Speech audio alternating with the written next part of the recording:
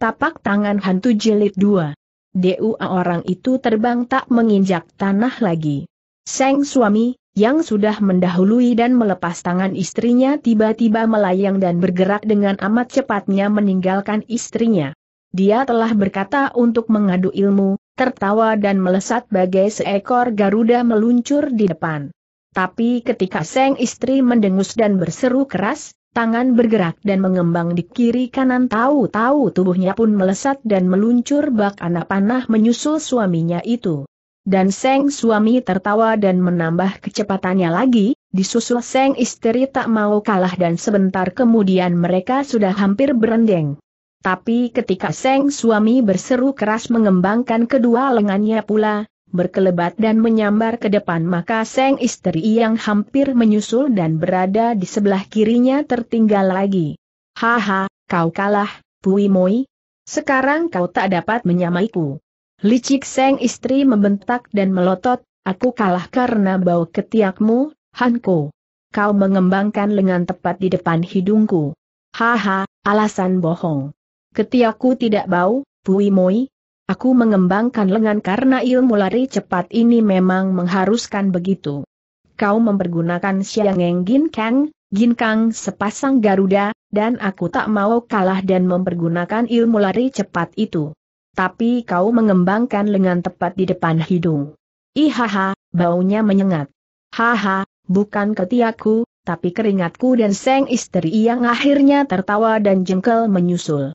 Sudah membentak dan mengejar dengan penasaran, masih tak dapat juga mengejar tapi suaminya akhirnya memperlambat lari, berendeng dan mereka tertawa-tawa karena tadi Seng suami memang menyemprotkan cairan keringat secara tak sengaja, yakni ketika membuka dan mengembangkan lengannya tadi.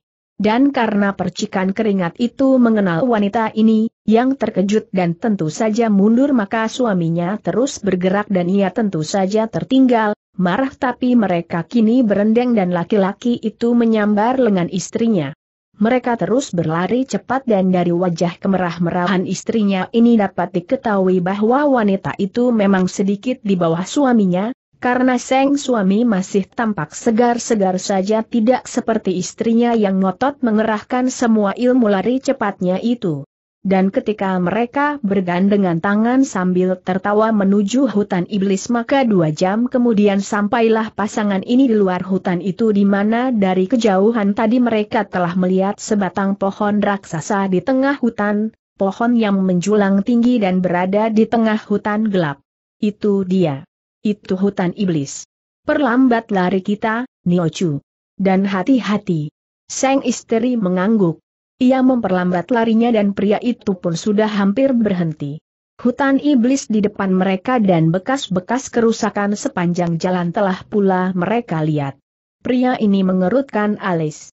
Dan ketika mereka benar-benar berhenti dan tertegun memandang mulut hutan yang gelap, dari situ menguar udara dingin dan berbau busuk maka wanita di sebelah pria ini menutup hidung. Bau bangkai. Terkutuk, tempat ini bau bangkai. Benar, dan beranikah kau masuk, Niochu? Atau kau tunggu di luar dan aku yang menyelidiki ke dalam? Aku tidak takut, Seng istri melotot. Tapi aku tak tahan bau bangkai ini. Hektometer, kalau begitu coba kulihat dan kau di sini sebentar, Seng suami meremas pergelangan tangan istrinya, menyuruh sabar dan tiba-tiba dia pun sudah meloncat masuk. Pria ini juga mencium bau busuk tapi sebagai laki-laki dia lebih tahan, tidak seperti istrinya itu. Dan ketika dia melompat dan hilang sekejap maka tak lama dia pun keluar dan di tangannya terjinjing sebuah mayat yang khususnya cerai-berai, kepalanya hilang. Ada mayat ini, pantas baunya busuk. Ah, mengerikan sekali, Niochu. Di dalam baunya semakin busuk. Wanita itu melebarkan mata. Ia terbelalak melihat mayat ini dan tiba-tiba muntah-muntah. Mayat yang ususnya cerai berai itu sungguh menjijikan dan berbau. Tubuhnya sudah mulai dimakan ulat dan bukan main busuknya. Dan ketika ia meloncat mundur dan muntah-muntah, menggoyang dan meminta agar suami tidak semakin dekat lagi maka laki-laki itu berhenti dan menarik napas dalam-dalam. Dia tadi menemukan mayat ini di dekat sebuah pohon. Kalau begitu kau menyingkirlah sebentar. Aku akan menguburkan mayat ini. Sungguh kasihan kalau tidak diurus. Wanita itu menghilang. Ia sudah berkelebat dan tak mau melihat suaminya bekerja. Laki-laki itu mencabut pedang dan dengan pedang ini ia menusuk dan menggali lubang. Dan ketika tak lama kemudian lubang itu terbuat dan mayat ini diletakkan hati-hati maka pekerjaan pria ini selesai dan mayat itu sudah dikubur. Sang istri dipanggil lagi dan muncul, masih menutupi hidung. Aku tak tahu apakah kau sanggup memasuki hutan. Di dalam lebih busuk lagi, tentu banyak mayat-mayat. Bagaimana menurut pendapatmu apakah masuk atau tidak? Di sana lebih busuk lagi? Kau melihat mayat-mayat lain? Hektometer, belum kulihat, Niochu, tapi baunya telah kucium. Aku yakin banyak mayat di sana dan mungkin keadaannya sama menyedihkan seperti mayat pertama tadi. Maksudmu kepalanya hilang dan tubuhnya dipenuhi ulat? Mungkin begitu, dan barangkali kau tak tahan. Keparat, Jahanam benar serigala-serigala hutan ini, Hanko. Kalau begitu kau masuklah dulu dan aku di sini. Aku tak mungkin harus melihat mayat yang sudah berbau. Perutku masih mual-mual. Baiklah, kau di sini dan biar aku masuk laki-laki itu berlebat lagi, masuk dan meninggalkan istrinya dan sekarang mereka berpisah.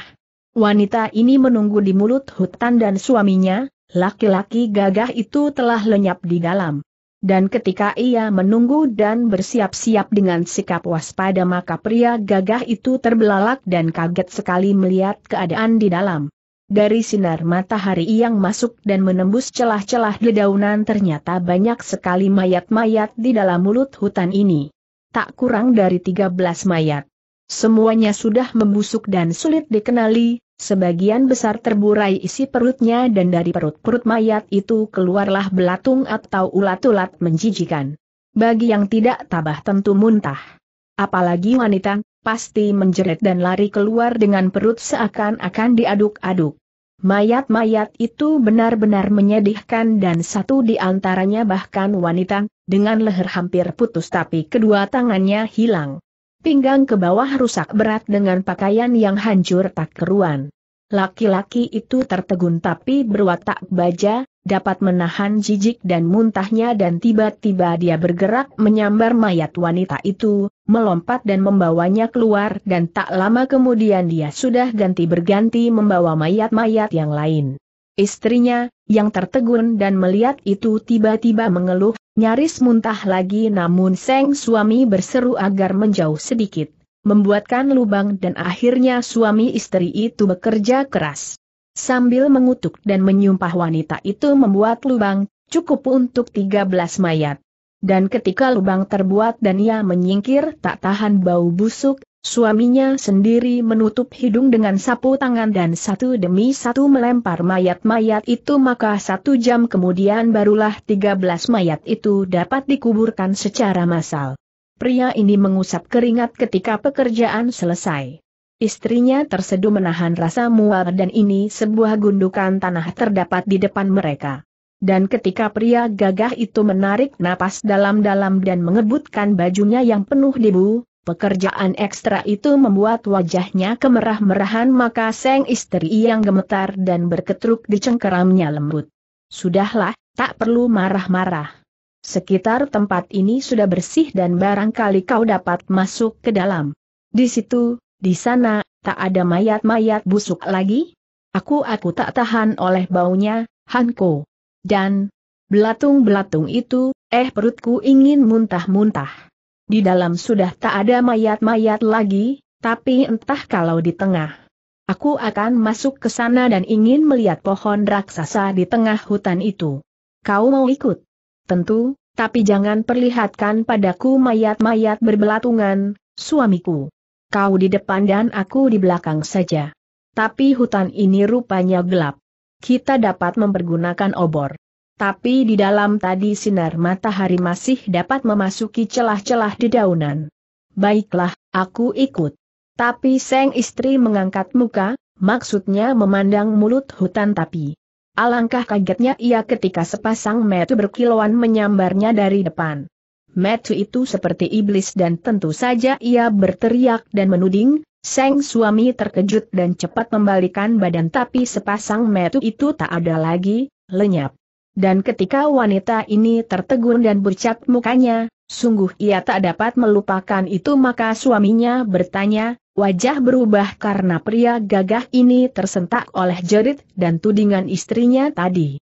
Apa yang terjadi, ada apa? Apa yang kau lihat? Iblis, metu iblis. Aku, aku melihat sepasang metu berkilauan menyeramkan, Hanko, tepat di belakangmu. Tapi begitu kau menoleh metu itu pun hilang. Iblis. Hilang. Benar, metu itu hilang, Hanko. Tapi aku melihatnya jelas. Metu itu mencorong dan menakutkan. Dia, dia, itu wanita ini tiba-tiba melengking, berteriak dan menuding ke kiri tapi secepat suaminya membalik tiba-tiba sepasang metu itu pun lenyap. Wanita ini membentak dan menuju ke metu itu dengan pedang di tangan tapi metu itu tak ada lagi. Dan ketika Seng suami tersentak dan kaget membelalakan mata maka istrinya berteriak lagi dan kali ini menuding ke kanan, berkelebat dan menyambar dengan cepat tapi metu itu pun menghilang lagi. Empat kali wanita ini berteriak tapi empat kali itu pula mata iblis itu lenyap, padahal jelas dilihat dan mencorong berkilau-kilauan. Dan ketika wanita ini gemetar dan mendeprok di tanah, musuh yang dihadapi rupanya sejenis makhluk halus maka wanita ini mengeluh dan histeris. Hanko, kita diganggu iblis. Keparat, aku diganggu iblis. Oha, metu itu, dia-dia. Mempermainkan aku. Tenanglah, Seng suami menjadi bingung dan heran sendiri, setiap kali menoleh maka matu yang dituding istrinya itu tak pernah ada. Dia tak melihat apa-apa. Agaknya pengaruh jahat dari hutan ini mengganggumu, Niochu. Mari tinggalkan sebentar dan kita keluar. Aku, aku, itu lagi Seng istri berteriak dan menjerit, suaranya tinggi dan secepat kilat ia membentak dan melempar pedangnya. Metu itu dilihatnya lagi tepat di belakang suami.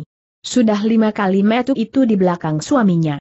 Ia selalu gagal karena secepat suaminya menoleh maka metu itu pun lenyap. Kecepatannya mengejutkan, sekaligus mengerikan. Tapi karena kini ia tak memburu lagi dan pedang di tangannya itulah yang dilontar dan ditimpukan secepat kilat, jauh melebihi kecepatan anak panah maka terdengar suara red dan barulah suaminya melihat bayangan hitam di balik sebatang pohon. Bagai iblis. Jahanam keparat istrinya melengking-lengking dan memburu beringas. Kau lihat itu, Hanko. Itu iblis itu. Dia menghilang di balik pohon itu. Sabar, Seng suami berseru dan berkelebat menyambar lengan istrinya. Di balik pohon itu tak ada siapa-siapa, Niochu pohon itu terlalu kurus untuk menyembunyikan tubuh seorang manusia. Tapi, tapi iya. Tanda petik. Lihat, suaminya menyeret dan bergerak ke belakang pohon itu, hati juga mulai mengkirik. Seram. Tak ada siapa-siapa, Niochu. Aku juga melihat bayangannya tapi rupanya iblis. Ia tadi masuk dan tembus memasuki pohon ini. Kita menghadapi roh jahat. Sebaiknya kembali dan, Pria gagah ini tergetar, menghentikan kata-katanya karena tiba-tiba terdengar lolong dan raung serigala. Suara yang panjang menyeramkan terdengar bergemuruh dan tiba-tiba seperti iblis-iblis dari kubur berlompatanlah bayang-bayang hitam mengepung mereka, jumlahnya tidak kurang dari 200 ekor dan itulah serigala-serigala hutan iblis. Lolong mereka sambung menyambung dan tergetarlah isi hutan oleh gelegar suara mereka. Dan ketika pasangan suami istri ini terkejut dan membalik maka seekor serigala hitam, dengan warna putih di punggung telah berada di depan mereka dengan giginya yang besar-besar dan tajam menyeringai. GRRR. Wanita itu pucat. Tadi mereka berdua terlalu dicekam oleh mata iblis yang lenyap dan muncul berkali-kali. Mereka terpusatkan pikiran kepada mata ini. Maka begitu bayang-bayang serigala berlompatan dari dalam hutan, mengepung dan kini melolong bersahut-sahutan maka hutan iblis menjadi menyeramkan karena bumi seolah diisi oleh raung atau suara serigala-serigala itu, yang juga menggeram dan mengais-ngaiskan kaki seolah siap melompat. Ambil pedangmu, awas. Ini binatang-binatang keparat yang kita cari itu Seng suami, yang sadar dan marah lebih dulu lalu berseru kepada istrinya. Dua ratus serigala mengepung mereka dan suaranya yang menggetarkan hutan minta ampun. Dengan suara itu saja seorang laki-laki paling berani pun bisa kuncut nyalinya. Salah-salah bisa mati kaku. Tapi ketika wanita itu teringat dan memandang pohon di mana tadi pedangnya menancap, pedang itu menyambar tapi luput mengenai si mata iblis maka nyonya ini tertegun melihat pedangnya tak ada lagi. Pedangku pedangku lenyap. Ah, di mana pedangku tadi, Hanko? Bukankah menancap di situ? Lenyap Seng suami terkejut, menoleh. Benar, eh, di mana pedangmu tadi, Niochu? Bukankah menancap di pohon ini? Kalau begitu bawa pedangku ini dan, awas. Pria gagah itu tak sempat melanjutkan kata-katanya lagi. Serigala hitam, yang paling besar dan amat menakutkan itu sudah meloncat dan menerkam istrinya. Gerakan ini disusul oleh lompatan-lompatan serigala lain di mana tiba-tiba mereka menyalak dan melolong berbareng. Suaranya menggetarkan hutan dan laki-laki itu terkejut. Dia baru saja hendak menyerahkan pedang kepada istrinya ketika serigala hitam itu sudah melompat. Dia membentak dan menusuk serigala ini, tentu saja melindungi istrinya. Tapi ketika pedangnya mental dan serigala lain menyambar dan menyergapnya maka pedang yang sedianya hendak diberikan si istri itu tak sempat lagi diberikan. 200 serigala sudah menyerang mereka, riuh rendah. Niochu, awas. Hati-hati menyambut mereka. Jangan sampai tergigit berat pria gagah itu sendiri. Tergigit, gugup dan kaget melayani serbuan dan dia harus mengelak dari moncong seekor serigala yang menyergap lehernya. Lompatlah serigala-serigala itu amat tingginya sehingga ada yang melampaui kepala. Dan ketika dia berhasil menyelamatkan lehernya tapi baju lehernya robek, memberbet di mulut serigala yang ganas maka dia sudah memutar pedangnya dan tangan kiri serta kedua kakinya pun bergerak ke sana kemari, memukul atau menendang dengan cepat. Dia tak sempat lagi berteriak kepada istrinya karena sibuk melayani serigala-serigala itu. Pedangnya sudah merobohkan tujuh di antara mereka namun yang lain mengganti, menyalak dan menggigit dan mulut hutan gaduh oleh suara mereka. Tapi karena laki-laki ini bukan penduduk dusun, dia berkelebatan dan terbang menyambar-nyambar maka tujuh serigala lagi roboh oleh pedangnya, tiga yang lain kena tendangan kaki kanannya. Krak des-des. Dua puluh serigala sudah menjadi korban. Laki-laki ini ternyata hebat dengan permainan pedangnya. Dia membacok dan menusuk dan serigala-serigala itu pun roboh berjengkangan.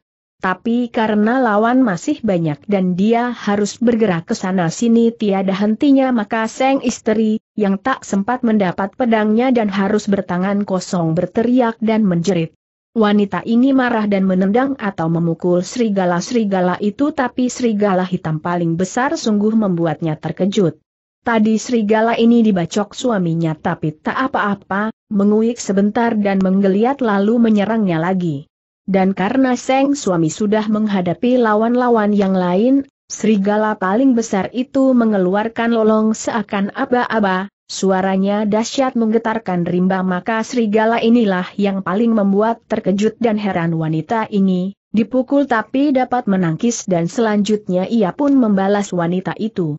Giginya diperlihatkan dan taring-taring yang tajam itu membuat orang ngeri. Hewan ini luar biasa. Dan ketika wanita itu berloncatan ke sana-sini tapi lawan dapat mencegat dan memburunya pula, Serigala-serigala yang lain menghadang dan gesit menyergap dan memotong maka ujung celananya tergigit dan wanita itu memekik. Hanko, tolong! Pria gagah teringat. Dia menoleh tapi waktu sekejap ini dibayarnya mahal. Sang istri, yang memekik dan kaget oleh serangan serigala hitam tiba-tiba dilihatnya terjatuh oleh terkaman hewan ganas ini. Tubuhnya yang paling besar di antara serigala-serigala lain membuat istrinya tak tahan ketika ditubruk, mengibas tapi tangannya dicengkeram dan saat itulah keduanya roboh terguling. Dan ketika dia pucat karena istrinya bergulingan dengan serigala hitam itu, diserbu dan digigit oleh serigala-serigala lain maka puluhan serigala yang mengeroyoknya juga menerkam dan pedang di tangannya digigit. Barulah pria ini sadar namun dia terlambat bergerak. Lima serigala yang menerkam pedangnya itu rupanya cerdik dan mereka sudah menarik atau membetot, kawan-kawannya yang lain menubruk dan menggigit lengan atau kakinya. Bahkan, dua di antaranya melompat dan menyerang mukanya, begitu ganas. Dan ketika laki-laki ini mengelak dan berseru keras, menarik tapi kalah cepat, pergelangan tangannya tergigit maka pria yang terkejut dan menendang serta meronta ini melepaskan pedangnya yang dibawa kabur lima serigala itu. Keparat laki-laki ini menjadi marah sekali. Terkutuk kalian, binatang-binatang busuk. Mana pedangku dan jangan lukai istriku laki-laki itu mengibas dan mendorong mundur serigala-serigala yang lain. Dia pucat melihat istrinya yang masih bergulingan di sana sekaligus juga bingung oleh pedangnya yang dibawa lari lima serigala di depan. Mereka itu telah dihajarnya tapi berhasil membawa lari pedangnya. Dan karena istri lebih penting daripada pedang, saat itu dia harus menyelamatkan istrinya dahulu daripada pedang yang dibawa lari maka laki-laki ini melepaskan diri dari kepungan dan sambil berjungkir balik ke arah istrinya dia menendang serigala paling besar itu, hewan yang berkutat dan bergumul dengan istrinya. Masing-masing tak mau kalah. Des! Serigala hitam itu terlempar. Belasan temannya juga terlempar karena ketika menendang tadi pria gagah ini melepaskan pukulan jarak jauhnya, Pek Lui Keng atau pukulan kilat yang membuat hawa panas disusul sinar putih menyambar dari tangannya. Dan ketika dia menolong istrinya bangun sementara serigala raksasa menguik tertahan, bangun dan jatuh lagi bangun lagi maka wanita itu menangkis tapi pandang matanya memancarkan kemarahan yang sangat berapi-api. Hanko, pedangmu mana pedangmu? Biar ku bunuh jahanam keparat ini. Hektometer, pedangku di sana, pria itu terbelalak memandang serigala paling besar itu, teringat bahwa inilah agaknya serigala yang paling ditakuti, serigala yang kebal bacokan senjata tajam. Kau ambil pedangku di sana, Niochu. Biar ini menjadi bagianku. Tidak, Seng istri sudah menerjang, Serigala itu menggeram dan melompat lagi, teman-temannya mengikuti. Aku ingin membunuh serigala ini, Hanko. Ambilkan pedang dan jaga jangan sampai aku diserang yang lain-lain. Pria gagah ini tertegun. Sebenarnya dia ingin bergerak dan menghadapi serigala hitam itu. Dia teringat bahwa tadi bacokannya tak mempan. Tapi karena Seng istri sudah berseru dan apa boleh buat dia harus menjaga maka dia membalik dan bermaksud mencari atau mengambil pedangnya itu. Tadi pedangnya itu dilihatnya masih dalam gigitan seekor serigala yang kemudian melepaskannya di atas tanah. Tapi bukan main kagetnya pria gagah ini. Pedangnya sudah tak dilihat dan ratusan serigala itu kembali menyergapnya. Mereka menyalak dan melolong-lolong dan dia tak sempat lagi mencari-cari.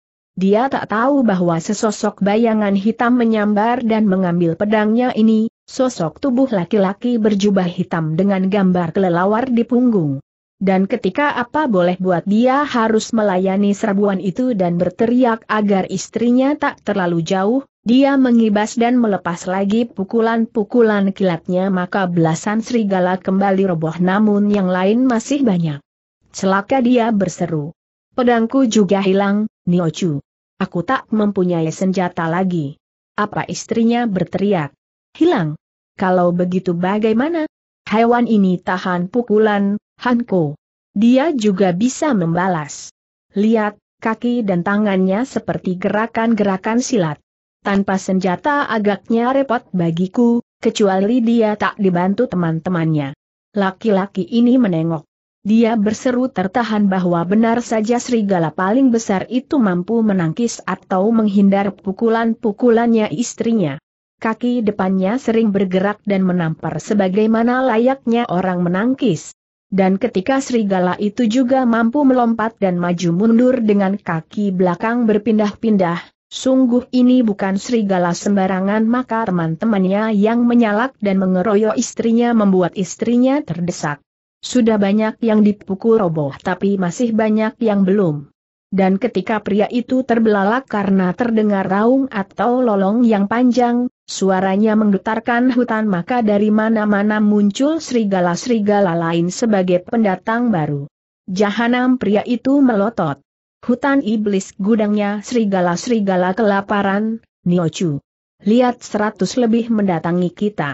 Benar, dan senjatamu ah, kita sama-sama tak bersenjata, Hanko. Bagaimana ini? Mungkin kita harus menyingkir dulu, lawan terlalu beringas. Atau, Des laki-laki itu menghentikan kata-katanya, membentak dan melempar seekor serigala dengan pukulan mautnya dan serigala itu menguik roboh. Kepalanya pecah kena pukulan Pek Lui Keng. Dan ketika di sana istrinya juga berhenti bicara karena serigala hitam menubruk dan menyerangnya lagi, dibantu yang lain-lain maka seratus lebih serigala baru sudah tiba di situ. Dan langsung mereka itu menyerang dan mengeroyok. Niochu, lari saja. Kita pergi Seng suami sekarang berubah, hanya dengan kaki tangan mendorong-dorong tapi serigala terlampau banyak. Dari mana-mana mereka menyerang dan dua kali bajunya robek. Tergigit.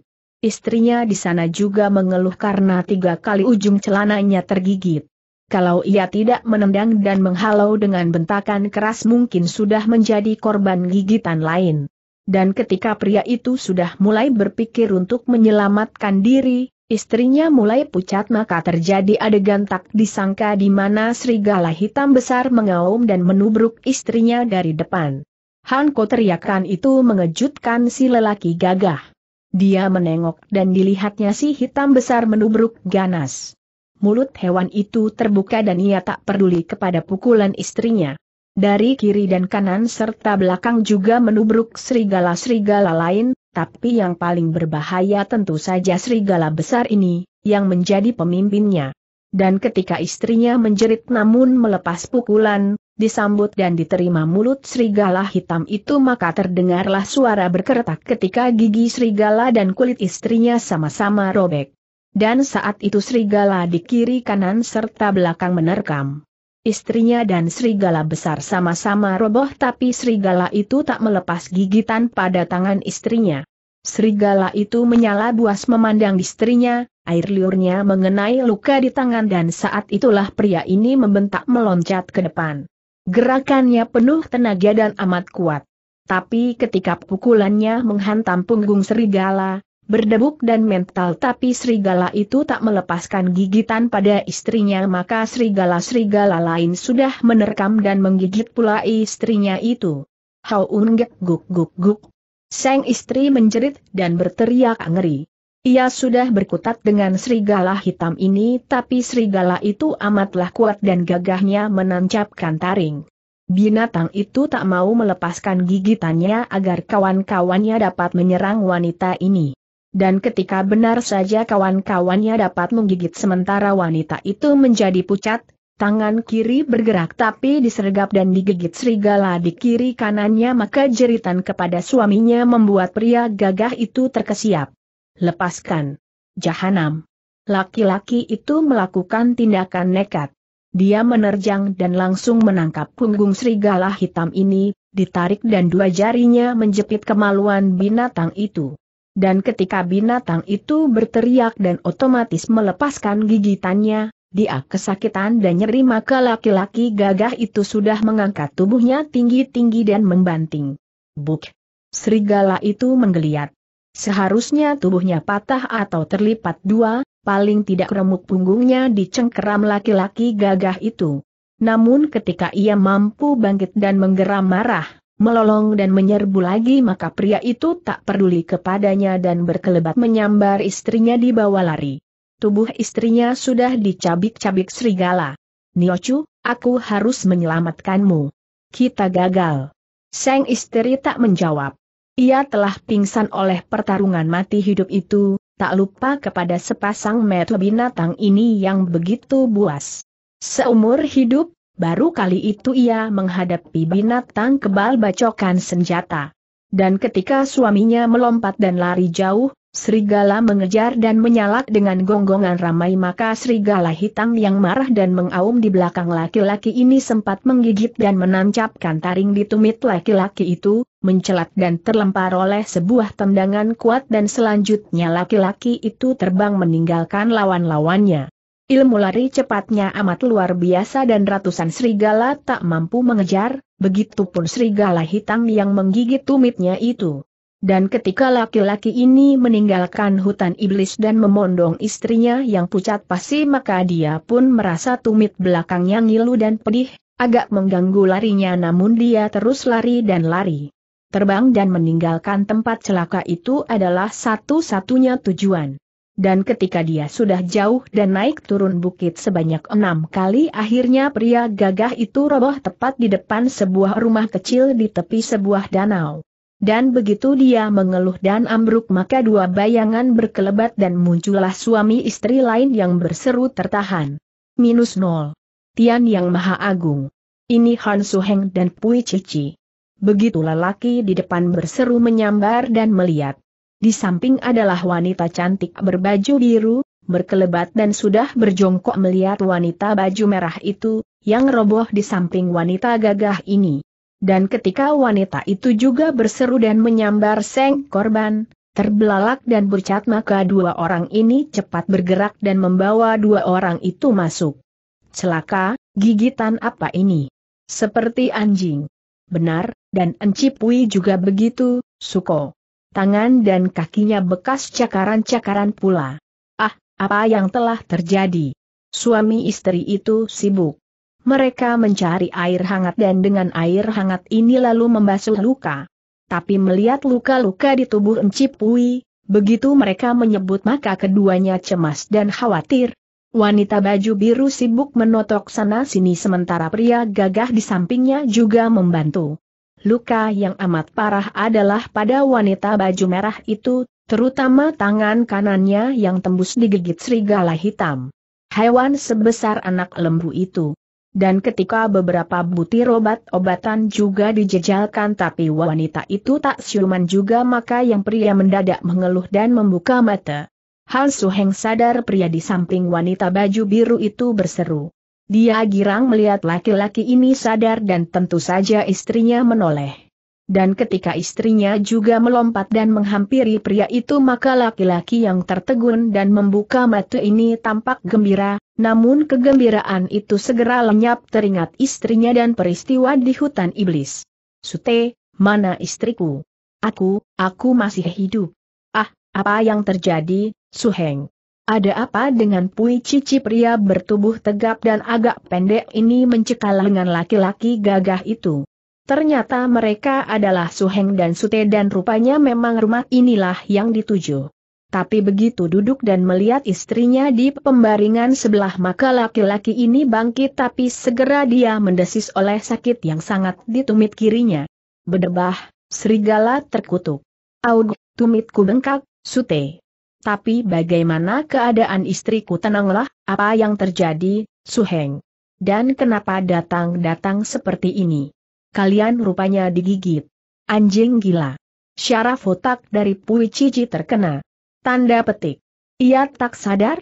Sejak kau roboh di rumahku. Air, apa yang terjadi, Suheng? Katakan dan bagaimana bisa begini? Masa kalian orang-orang persilatan bertanding dengan anjing gila? Kami dikeroyok ratusan serigala-serigala liar.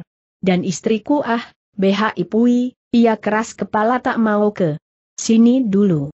Kami-kami bertemu sesuatu yang menakutkan. Serigala? Menakutkan. Ah, bagaimana itu, Suheng? Coba ceritakan. Tidak, si pria tegap pendek berkata. Rupanya siapkan minuman dan bubur hangat, Limoi.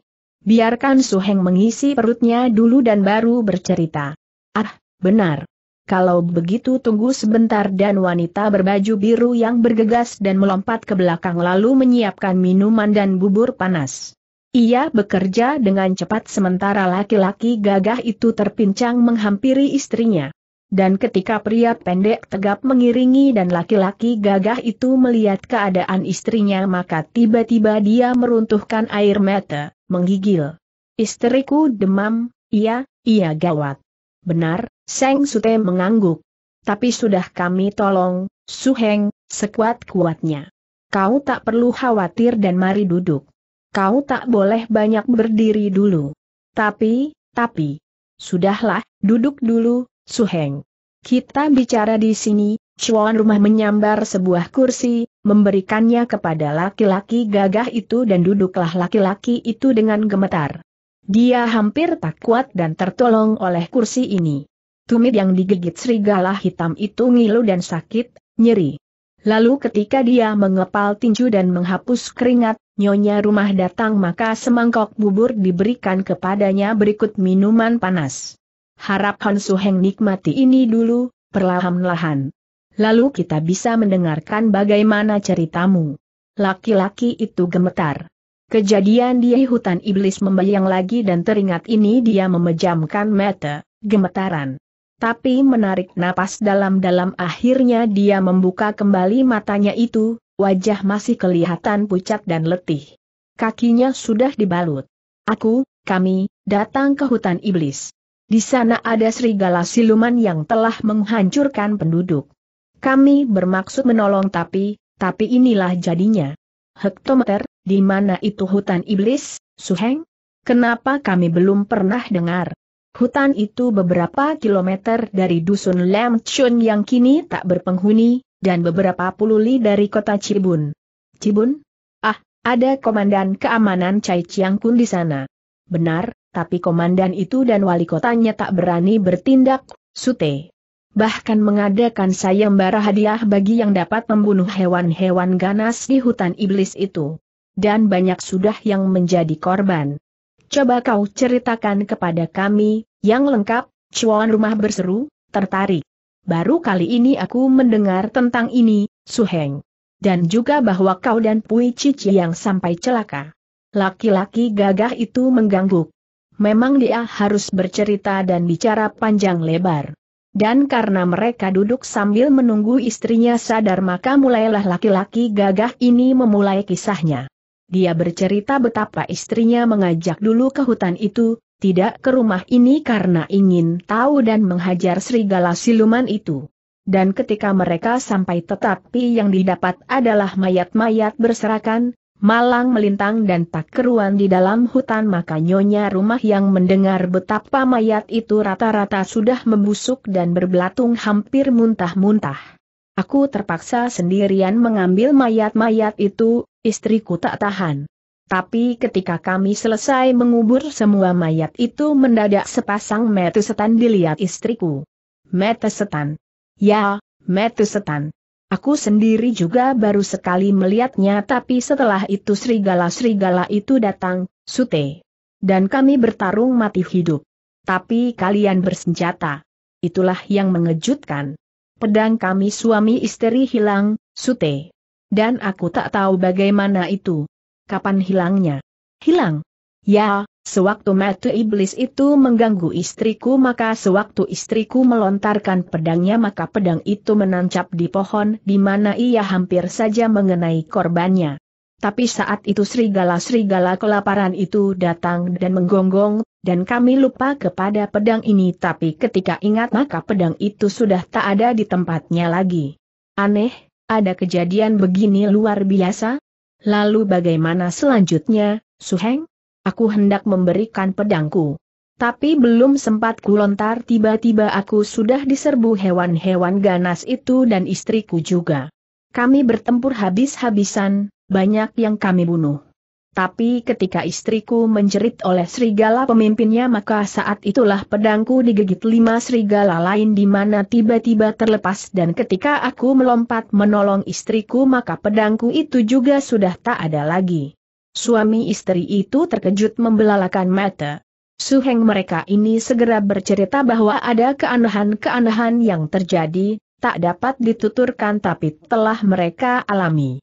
Dan karena pedang sama-sama lenyap dan apa boleh buat harus melawan dengan tangan kosong maka istrinya terluka dan dia harus melarikan diri menyelamatkan istrinya itu. Aku tak tahu bagaimana jadinya kalau tak dapat meninggalkan tempat itu. Yang jelas, Hutan iblis benar-benar menyeraman dan aku menyesal bahwa istriku tak mau kuajak ke sini dulu untuk bergabung dengan kalian dan baru setelah itu ke sana bersama-sama. Nanti dulu. Kau tadi bicara tentang serigala hitam berpunggung putih itu, Suheng. Apakah benar dia tahan bacokan senjata tajam? Sudah kubuktikan, lelaki ini mengangguk. Hal itu benar, Sute. Jadi meskipun kami bersenjata agaknya percuma, hewan itu kebal. Tapi dengan senjata setidak-tidaknya kita dapat melindungi diri. Hektometer, Seng Sute mengangguk-angguk. Aku jadi tertarik untuk ke sana, Suheng. Dan mudah-mudahan kita semua dapat ke sana bersama. Ya, tapi istriku. Tanda petik. Semua menoleh ke pembaringan itu. Setelah pembicaraan selesai dan semua teringat si sakit maka laki-laki gagah itu menengok pada istrinya, tangan meraba dan tiba-tiba dia pun terkejut. Hanya beberapa menit saja ternyata demam nyonya itu meninggi, begitu tinggi sampai tangan rasanya terbakar. Dan ketika pria gagah itu terkejut dan nyonya serta tuan rumah juga terkejut maka wanita itu tiba-tiba diserang kejang-kejang. Ah, istriku, Sute. Panasnya meninggi. Tenang-tenang, Suheng. Biar kami kompres Chuan dan Nyonya rumah jadi sibuk. Mereka berlari ke sana kemari sementara pria gagah itu juga menotok sana-sini. Tapi karena dia juga belum sembuh dan usahanya sia-sia maka dia menjadi panik karena muka si istri menjadi kehijau-hijauan. Sute, istriku terkena racun. Laki-laki pendek tegap berubah si korban kehijau-hijauan dan sebentar kemudian hitam dan merah. Keadaan dibarengi dengan kejang-kejang menghebat. Dan ketika terdengar keluhan panjang dan wanita itu mengeluh maka dari mulut dan hidungnya keluar cairan putih kental. Cairan ini seperti liur serigala-serigala itu dan bercatlah pria gagah melihat itu. Dia berteriak dan bangkit dari kursinya. Tapi ketika dia terjatuh dan roboh terguling maka istrinya menggeliat dan tiba-tiba ambruk dengan tubuh kaku. Sekejap wanita itu mendelik tapi kemudian roboh tak bergerak-gerak lagi. Dan ketika nyonya rumah menjerit dan memeriksa detak nadinya ternyata korban telah tewas dan napasnya putus. Cici. Pekik itu menggetarkan isi rumah. Pria gagah terbeliak dan seakan tak percaya. Tapi ketika dia bangun dan ditolong sutainya, memeriksa, maka pria ini pun roboh dan terguling. Pingsan. Kejadian berubah menjadi tangis dan wanita baju biru terseduh-seduh. Saudaranya tewas. Tapi begitu teringat siapa yang menjadi sebab sekonyong-konyong ia melompat bangun dan pedang di dinding disambar, meloncat keluar. Binatang keparat, ku bunuh kau. Wanita ini terbang meninggalkan rumah. Ia tak berpamit kepada suaminya lagi dan Seng suami tentu saja kaget bukan main. Saat itu dia sedang menolong suhengnya dan kini tahu-tahu Seng istri melompat. Bagai gila dengan pedang di tangan. Mau ke mana lagi kalau bukan ke hutan iblis? Maka membentak dan berkelebat keluar tiba-tiba laki-laki pendek tegap itu berseru. Limoi, jangan gila. Tunggu, berhenti sebentar. Namun wanita itu tak memperdulikan. Ia melengking dan bahkan mempercepat larinya. Dan ketika Seng suami terbelalak karena di rumah masih ada yang harus dirawat, juga yang mati belum diurus maka istrinya itu menjawab, nyaring melengking. Aku hendak membalas kematian enciku, Suko. Akan kubantai serigala-serigala jahanam itu. Bantu aku atau urus dulu yang ada di rumah. Gila laki-laki ini bingung. Tempat itu berbahaya, Limoi, tunggu sebentar dan jangan sendiri. Atau, laki-laki ini tertegun, di belakangnya berkelebat bayangan suhengnya, jatuh tapi lari mengejarnya. Lagi, jatuh dan lari lagi. Dan karena otomatis dia harus berhenti karena suhengnya ada di situ, belum sembuh betul maka laki-laki ini membalik dan menyambar pria gagah itu. Suheng, kau pun kenapa ikut-ikutan keluar? Ayah, masuk dan istirahat dulu. Tidak aku juga akan membalaskan kematian istriku, Sute. Kalau istri sampai tewas biarlah aku mampus di sana. Sibuklah laki-laki ini mencegah dan mencengkeram. Sekarang dia bingung mana yang harus didahulukan. Istrinya sudah lenyap di depan sementara saudaranya ini juga mau mencari penyakit. Dan karena saudaranya lebih penting karena dia akan membujuk dan menahannya dulu di rumah, setelah itu menyusul dan mengejar istrinya maka laki-laki ini menarik dan membawa suhengnya itu kembali. Dengan susah payah dia berkata biarlah jenazah di rumah diurus dulu, baru setelah itu mereka pergi. Dan karena bujukan ini masuk akal sementara wanita baju biru sudah lenyap terbang meninggalkan rumah maka BH Ili, wanita itu, meluncur dengan amat cepatnya menuju hutan iblis. Siapakah sebenarnya pasangan suami istri-suami istri ini? Bagi pembaca yang sudah mengikuti cerita di Golok Maut tentu kenal pasangan pria wanita ini. Mereka adalah Keng Hon dan Sutong murid-murid Pek Lui Kong, Dewa Halilintar, dari utara. Dulu, belasan tahun yang lalu Keng Hon maupun Sutong ini mencari golok maut Sin Hao, ayah dari sinaga pembunuh Giam Liong. Dua orang muda ini tak senang dengan sepak terjang si golok maut Sin Hao yang ganas, maksudnya hendak menegur dan kalau perlu bertempur dengan si golok maut itu. Tapi ketika dalam perjalanan mereka malah diganggu tokoh-tokoh sesat dan justru golok maut menolong mereka maka dua pemuda ini tersipu-sipu dan malu kepada orang yang hendak mereka musuhi itu. Keganasan atau kekejaman golok maut ada sebabnya. Ternyata tokoh yang hendak mereka tegur itu adalah seorang yang sedang menderita pukulan jiwa hebat, gara-gara perbuatan atau sepak terjang keji Coaongnya. Dan ketika mereka mulai tahu sebabnya dan tentu saja mundur, kepandaian mereka juga tak sebanding dengan golok maut itu maka dalam kisah berikutnya mereka bertemu dengan dua kakak beradik BH Ipui dan BH Ili, yang juga pernah ditolong golok maut dan dari perkenalan mereka ini akhirnya timbul bibit-bibit cinta di mana akhirnya mereka menikah. BH Ipui mendapat Kenghon sementara BH Ili mendapat Sutong. Dan karena mereka akhirnya jarang memperlihatkan diri di dunia Kang Ong lagi, dunia begitu jahat maka dulu hanya sejenak saja dua orang itu melihat keturunan golok maut Sin Hao, yakni sinaga pembunuh Giam Liong. Dua pasangan ini lalu hidup sendiri-sendiri di mana Keng Hon belum mempunyai anak, lain dengan sutainya di mana Sutong mempunyai seorang anak perempuan yang saat itu dibawa gurunya ke utara. Hari itu Sutong mengundang suhengnya suami istri untuk berkumpul di tempatnya karena guru mereka Pek Lui Kong, jago tua utara akan datang berkunjung membawa Sugiok, putri mereka yang sudah berusia 15 tahun. Tapi ketika Keng Hon berkunjung namun ada urusan itu, peristiwa hutan iblis yang mengguncang orang-orang sekitar maka perjalanannya dibelokkan tapi tak taunya malah membawa celaka bagi mereka sendiri. BH Ipui atau istrinya tewas oleh keroyokan serigala yang buas dan ganas. BH Ili, Seng adik, tentu saja berduka dan marah. Wanita ini beradat keras seperti encinya pula, meskipun Seng Enci sebetulnya lebih keras dan galak dibanding dirinya. Tapi karena kematian encinya itu sungguh merupakan pukulan berat, BH Ili atau wanita baju biru ini tak mau menunggu lagi maka kemarahan dan kedukaannya membuat ia menerjang masuk ke hutan iblis. Tapi di tengah jalan tiba-tiba wanita ini melihat berkelebatnya sesosok bayangan dari samping. Ia menoleh namun bayangan itu bersembunyi dan berlindung di balik sebatang pohon, meneruskan larinya namun bayangan itu bergerak dan mengejar lagi.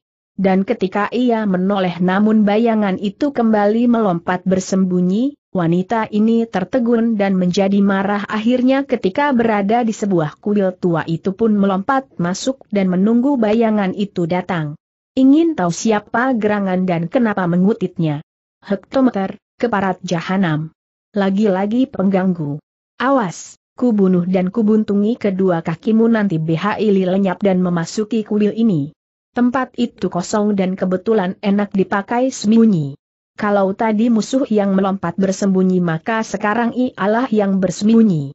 Ia ingin melihat siapa bayangan laki-laki itu, yang mengejar tapi selalu menyembunyikan diri kalau ditengok. Dan ketika tak lama kemudian ia mendengar langkah kaki berlari-lari, ringan dan melompat memasuki kuil itu maka wanita baju biru ini tertegun karena itu kiranya adalah Pang Kausu, guru silat Pang. dan begitu melihat guru silat ini seketika wajahnya pun merah terbakar.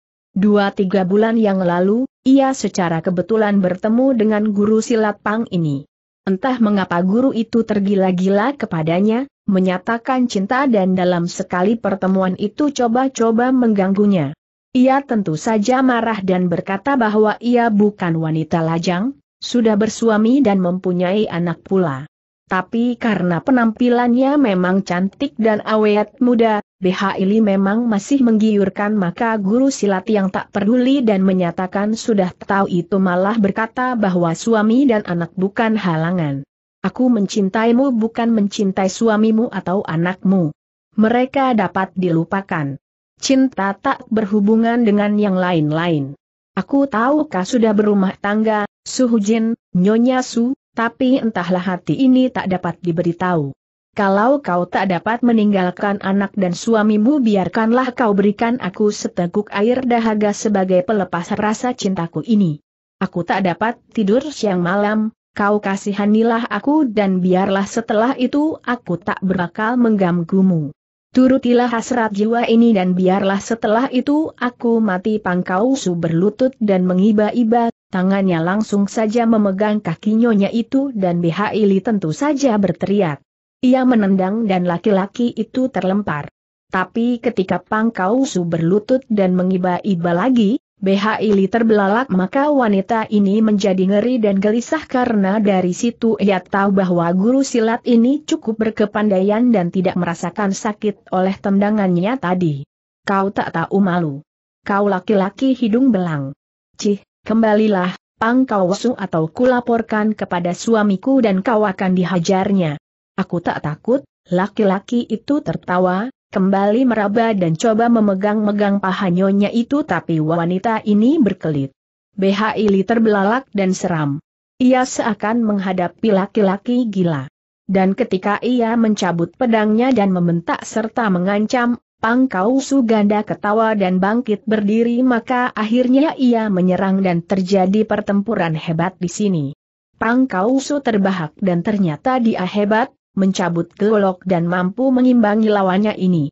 Dan ketika dia membalas dan dua kali hampir saja merobek pundak lawan, BH Ili melempar tubuh bergulingan maka selanjutnya nyonya ini mendapat tekanan dan guru silat itu setingkat lebih tinggi darinya. Pantas berani mengganggu dan agaknya suaminya Sutong yang dapat menghadapi. BH Ili akhirnya berteriak dan melepas jarum-jarumnya, ditangkis tapi saat itu dipergunakan untuk melompat mundur, lari dan membalik menuju rumahnya dan di sini guru silat itu tak mengejar. Rupanya ia takut juga harus berhadapan dengan Seng suami, mungkin takut dikeroyok. Dan BHI yang pulang menahan gelisah dan air mata akhirnya melapor dan suaminya lalu mencari tapi guru silat itu menghilang. Sebulan dua bulan lewat tapi guru silat itu tiba-tiba muncul lagi, di tengah jalan. Dan ketika dia menjerit dan memanggil suaminya, guru silat itu pergi lagi maka Sutong geram dan suami ini membanting-banting kaki. Orang macam apakah pangkau su itu? Dan di mana dia tinggal? Aku tak tahu. Dia harus diberi pelajaran berat, suamiku. Atau nanti menggangguku lagi. Aku tak takut tapi kepandaiannya setingkat di atasku. Hektometer, kalau begitu mari bersama-sama menyelidiki. Di sana ada kota Anwai dan kita tanya-tanya suami istri itu lalu menyelidik. Ternyata Pangkau Su memang pernah tinggal di Anwai namun ini. Guru silat itu berpetualang. Dia berpindah-pindah tempat dan hidupnya sebagai duda memang suka mengganggu wanita, terutama yang berumah tangga. Guru silat ini tak senang melihat kebahagiaan orang lain dan siapa pun rumah tangga yang bahagia akan diganggunya. Ini karena sakit hatinya terhadap rumah tangganya sendiri yang berantakan, cerai ditinggal istri dan sebagai pelampiasannya dia pun lalu mengganggu rumah tangga lain. Siapa pun yang dilihatnya bahagia akan diganggu istrinya, menghilang dan mengganggu di tempat lain, begitu berulang-ulang. Dan karena dia main paksa dan banyak ibu-ibu rumah tangga dihancurkan nasibnya, Banyak yang membenci guru silat ini namun kepandaiannya membuat para suami tak berani melawan guru silat itu maka akhirnya Pangkau Su ini malang melintang di sekitar Anwei dan suatu hari dia melihat rumah tangga Suhujan ini. Dia mencegat dan menghadang dan seperti biasa dia mulai merayu. Kalau tidak berhasil dia siap dengan kepandaiannya, itu yang sudah biasa dilakukannya bertahun-tahun, tapi karena BHI Li adalah wanita gagah dan wanita itu melawan, Pang Kausu terkejut dan kagum maka duda keparat yang justru semakin tergila-gila dan jatuh hati kepada nyonya ini tak habis-habisnya memuji. Dia tahu siapa keluarga itu tapi yang ingin dimilikinya hanya sang nyonya ini. Asal Suhujin membalas cintanya sekali saja dia merasa cukup, begitu pintanya tapi BHI Liang tentu saja marah dan gusar lalu menyerang dan memaki-maki. Dan akhirnya guru silat itu menghadapi dan dia ternyata setingkat lebih tinggi dibanding lawannya, membuat Suhujan terkejut dan jalan paling selamat adalah lari pulang. Pang Kausu tak berani mengejar dan bekas anak murid Butong yang diusir ini menunggu saat lain, sabar dan mencari wanita lain lalu ketika saatnya tepat dia pun muncul lagi pergi dan menghilang ketika suami nyonya itu berkelebat, tak mau menghadapi dua lawan karena tentu dia kalah. Dari kepandaian nyonya itu saja dia tahu bahwa sendiri menghadapi keroyokan tentu tak sanggup. Maka menyingkir dan mencari kesempatan lain segera dia pergi dan hari itu tiba-tiba saja dia melihat suhu jin itu berlarian sendiri saja. Dia masih ragu dan menguntit dan diam-diam mencari bayangan suami. Kalau Sutong ada di situ tentu dia harus menyingkir, bersabar lagi. Tapi ketika sampai beberapa puluh li dia tak melihat siapa pun juga kecuali nyonya itu, kegirangannya memuncak maka dia tahu ketika sang nyonya berkelebat dan bersembunyi di kuil tua. Sekarang BH Ili pucat kenapa dia lupa akan bahaya dari pangkau su ini. Haha, begitu guru silat itu tertawa bergelak. Kau ternyata menungguku di kuil ini, Suhujin. Ini artinya kau menyambut cintaku. Kenapa tidak dari dulu-dulu bilang? Haha, aku lega kau akhirnya menerima cintaku, Hujin, syukur kalau selamanya. Pang Kausu itu berkelebat dan masuk. Dia sekarang tak perlu menyembunyikan diri lagi setelah yakin bahwa nyonya itu betul-betul sendirian saja. Dia tak tahu kenapa nyonya itu berlarian dengan pedang di tangan tapi perkiraannya bahwa sedang terjadi keributan dengan seng suami membuatnya girang. Biasanya begitulah akhir dari sebuah rumah tangga yang diganggunya. Seng suami mudah cemburu dan marah-marah. Dan menganggap suhu jin itu perang mulut dengan suaminya, pergi dan meninggalkan rumah maka dia masuk dan memanggil nyonya itu. Hatinya gembira, hasrat dan nafsunya berkobar guru silat keparat tapi begitu bentakan diterima. Kalau laki-laki tak tahu malu dan perusak rumah tangga, pangkausu. Siapa menunggumu dan menyambut cintamu? Inilah pedangku, terimalah nyonya itu berkelebat dan keluar, pedangnya menusuk dan pangkausu tentu saja mengelak. Betapapun dia cukup hati-hati. Tapi ketika sang nyonya mengejar dan dia melihat kemarahan yang sangat Suhujan tak main-main maka apa boleh buat dia mencabut goloknya dan dengan golok di tangan dia menangkis lagi sambaran pedang nyonya itu. Eh haha kerang. Pang Kausu menang tenaga. Memang selama ini dia unggul setingkat tapi begitu lawan memekik dan menerjangnya lagi maka dia pun kerepotan. Dia tak tahu bahwa BH Ili atau Suhujan ini sedang dilanda kecewa dan marahnya oleh kematian Seng Enci. Dia mengira nyonya itu bertengkar dengan suaminya sendiri. Maka ketika pedang bergulung-gulung dan nyonya itu menerjangnya sengit, segala kepandaian dan tipu serangan dikeluarkan maka laki-laki ini pun kewalahan dan mundur menangkis sana-sini. Krang-krang. Sejenak dia terdesak tapi sudah mampu menguasai diri lagi. Tadi, guru silat ini agak ragu mengira. Seng nyonya tak bersungguh-sungguh. Wanita yang sudah bertengkar dengan suami biasanya sudah goyah dan kalau ada lelaki datang mendekat biasanya akan disambut, meskipun satu dua di antaranya akan pura-pura galak dahulu sekedar jaga diri, agar harganya tak melorot jatuh dan lelaki sewenang-wenang kepadanya. Tapi ketika nyonya itu jelas menusuk dan menikam dengan serangan maut, membentak dan melengking maka Pangkau Su ini sadar bahwa Suhujan ini tidak sekedar habis bertengkar dengan suaminya. Malah naga-naganya ada sesuatu yang telah mengguncangkan jiwanya dan membuatnya seperti kesurupan. Nyonya itu melengking-lengking dan pedang pun menyambar tiada henti. Namun karena dia mulai kenal gerak dan gaya permainan pedang ini, Sekali dua mereka sudah bergebrak maka Pangkau Su yang mainkan silat goloknya dengan baik akhirnya membendung dan perlahan tetapi pasti dia balas menekan dan menghalau serangan lawan. Haha, sudah dua tiga kali kita bergebrak, Hujin, dan kau tahu bahwa kau tak dapat mengalahkan aku. Jangan mulai kehangatan cinta dengan perang tanding sia-sia. Cinta apa? Kehangatan apa? Jaga mulutmu dan jangan asal bercuap, Orang Sipang. Aku akan membunuhmu atau kau boleh membunuhku. Haha, aku tak akan membunuhmu. Aku jatuh cinta padamu. Masa demikian ketus sambutanmu, Suhujin. Kau sudah meninggalkan rumah dan suamimu untuk menantiku di sini. Masa dugaanku salah dan kau pura-pura sing plak seng kau su terpaksa menghentian kata-katanya, mengelak dan menangkis dan golok pun bertemu pedang. Tapi karena dia masih bicara maka gagang goloknya yang kena dan hampir saja Pangkau Su ini terbabat. Dia terbelalak dan menjadi marah karena ternyata lawannya bersungguh-sungguh. Suhujin itu memakinya kalang kabut dan mulailah dia merasa bahwa sia-sia segala bujuk rayunya. Wanita ini harus ditundukkan dengan kekerasan dan dia pun membentak dan bersikap kasar dan ketika pedang kembali mendesing dan dia mengerahkan tangannya maka golok membabat pedang dan nyonya itu berteriak karena pedangnya hampir saja terlepas.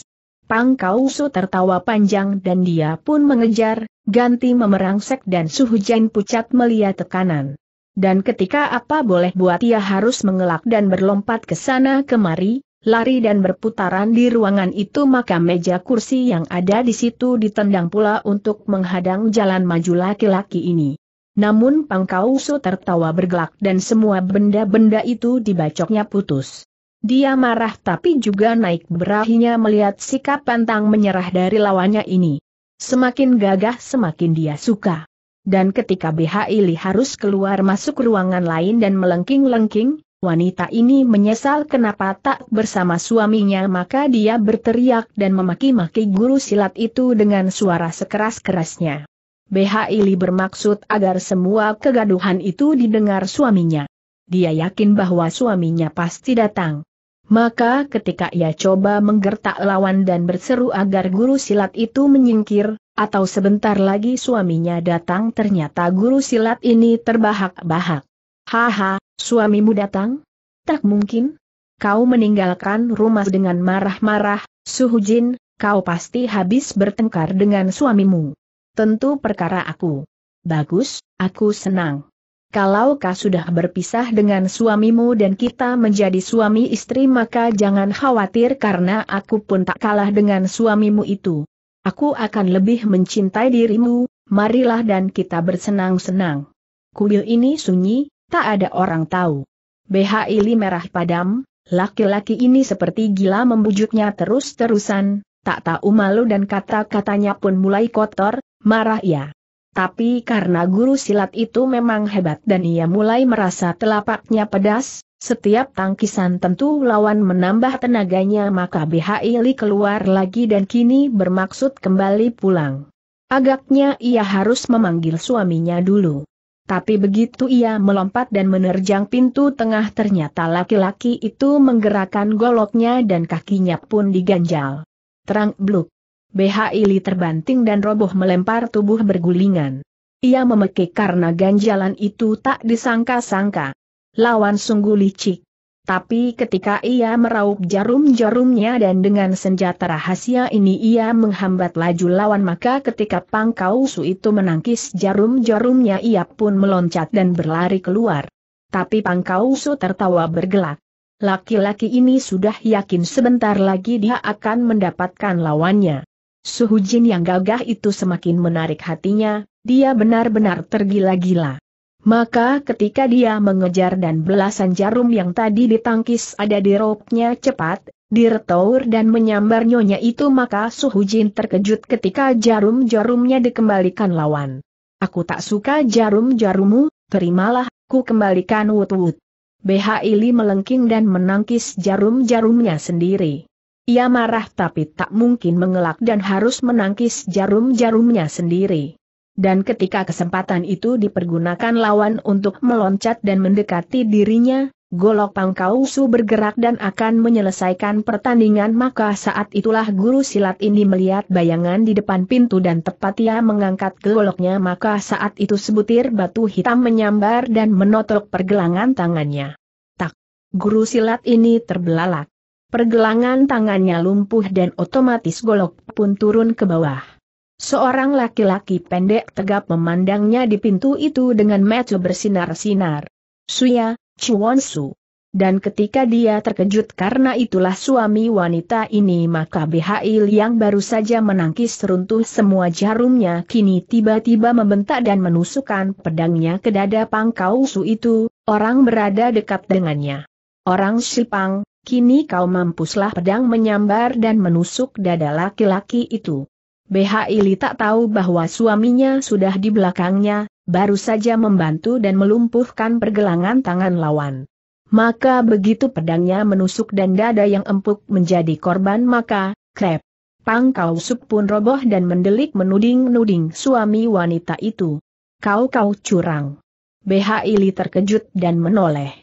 Ia tak tahu siapa yang dituding tapi begitu menengok maka dilihatnya suaminya itu. Kontan ia berseru girang dan lawan pun ditendang mencelat. Ia telah mencabut pedangnya dan laki-laki itu roboh dengan darah menyemprot. Pang Su tewas. Dan ketika Sutong berkelebat dan memasuki ruangan itu maka suami ini pun menyesali juga sikap istrinya yang kejam. Tak perlu dibunuh, seharusnya ditabas atau dikutungi saja daun telinganya. Ah, dia binasa, Limoi, kau telah membunuh. Eh, kau menyalahkan aku? Tidak melihat betapa meja kursi berantakan? Dia pengganggu wanita baik-baik, Suko, sudah sepantasnya dibunuh. Kalau kau tidak cepat datang entah apa jadinya denganku. Mungkin dia memperkosa istrimu ini. Sudahlah, sudah, aku mendengar bentakan dan teriakanmu dan untung aku datang. Han Suheng menyusul dan lihat dia terengah-engah. Seng Nyonya menoleh dan mengibaskan rambutnya. Ia masih berdiri dengan pedang berlumuran darah dan saat itu datanglah pria gagah itu. Keng Han, laki-laki ini, tak dapat menyusul sutenya karena masih belum sembuh dari sakitnya. Tapi begitu dia datang dan melihat ribut-ribut itu, juga mayat Pangkausu yang memujur kaku maka dia pun tertegun dan berdiri menjublak. Siapa dia, perampok dari manakah? Tanda petik. Bukan rampok, Seng Nyonya membanting dan melepas jengkelnya. Dia ini lebih keji daripada perampok, Han Suheng. Dia perenggut kesucian seorang wanita. Ini Pangkau Su yang telah tiga bulan ini mengejar-ngejar aku. Ah, seorang Jai Hwe Acat, penjahat pemetik bunga? Tapi kenapa jabatannya guru silat? Jabatan tak menunjukkan kepribadiannya, Suheng. Banyak yang lebih terhormat tapi sifatnya lebih bejat. Ini anjing hina jeni dan aku telah membunuhnya. Hektometer HMM Seng Suheng mengangguk-angguk, maklum akan semua itu. Kau benar, Limoi. Tapi, bagaimana sekarang? Dia sudah terbunuh. Aku akan melanjutkan perjalananku. Masalah mayat ini, hektometer, biar saja dimakan anjing lalu melompat dan keluar dari ruangan itu sehujan ini pun berkelebat dan melanjutkan perjalanannya. Ia tak mau mengurus mayat itu tapi suaminya bergerak dan menyeret mayat ini. Seng Suheng memandang dan akhirnya membantu juga, dan ketika di luar kuil itu mereka mengubur guru silat ini maka Sutong mengajak Suhengnya berangkat. Istriku terlalu gegabah, selalu ingin mendahului. Mari kita susul, Suheng. Dan maaf biar kau berpegangan tanganku. Baik, dan aku juga ingin kembali ke hutan iblis itu, Sute. Aku ingin membunuh lawan-lawanku di sana dan kau membantuku. Mari dan begitu dua laki-laki ini bergerak maka mereka pun sudah menyusul BHI yang mendahului di depan. Jarak di antara mereka ada 15 menit dan diam-diam Seng suami ini khawatir. Kalau saja suhengnya sehat dan tak apa-apa tentu dia berdua dapat menyusul cepat. Tapi karena suhengnya sakit dan pengejaran ini pun dipaksakan maka dia tak enak membiarkan istrinya di sana. Bagaimanakah rupanya hutan iblis itu? Seseram namanya kah?